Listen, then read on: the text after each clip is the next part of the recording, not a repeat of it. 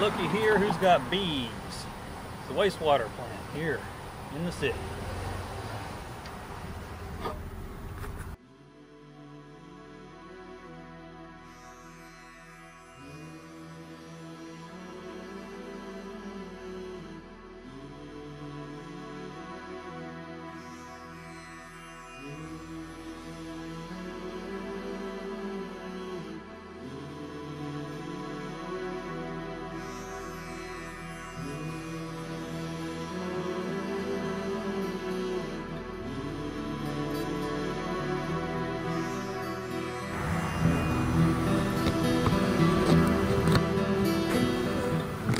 Right, city water treatment plant has got bees.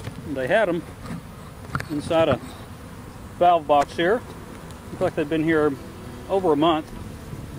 Pretty good sized combs. I got those put into the five frame nuc here. Three frames of their comb and then two frames of plasticell. Bees are gonna be left here till dark. They're gonna migrate on up to that box and they're already doing that. Nice big fat queen in there. Looks like she's very well mated, so she needs a bigger box to live in anyway.